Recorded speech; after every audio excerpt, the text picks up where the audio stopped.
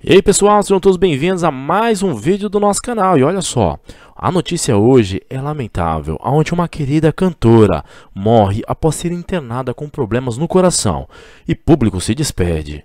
Olha só, antes de mais nada, não se esqueça de se inscrever em nosso canal e ativar as notificações para ficar por dentro de todas as notícias da internet. Eu sou o Washington Lisboa e a partir de agora vamos falar aqui sobre essa cantora que nessa semana o meio artístico se despediu com tristeza de mais uma de suas queridas estrelas. Faleceu a cantora brasileira brasileira Elizabeth Vilas Boas Bravo, conhecida como Lizzie Bravo. Lizzie se tornou famosa por ter sido a única brasileira a cantar com os Beatles. Além disso, a artista teve grandes colaborações na MPB, trabalhando ao lado de grandes nomes da música popular brasileira, como Zé Ramalho e Milton Nascimento. De acordo com relatos, Lizzie, que também tinha 70 anos de idade, completos em maio, estava passando por dificuldades físicas e sofria com problemas no coração.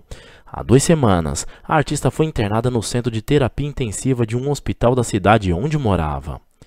Lizzie chegou a apresentar um quadro de melhora depois de passar pela internação na unidade, porém voltou a piorar e não conseguiu resistir às complicações de seu problema de saúde, indo a óbito ainda no hospital. Na internet, muitos internautas lamentaram a morte da famosa. Que ela vá em paz, disse um internauta muito triste com a notícia. Olha aí, galerinha, mais uma notícia de última hora. Não se esqueça de se inscrever e ativar as notificações. Eu vou ficando por aqui, espero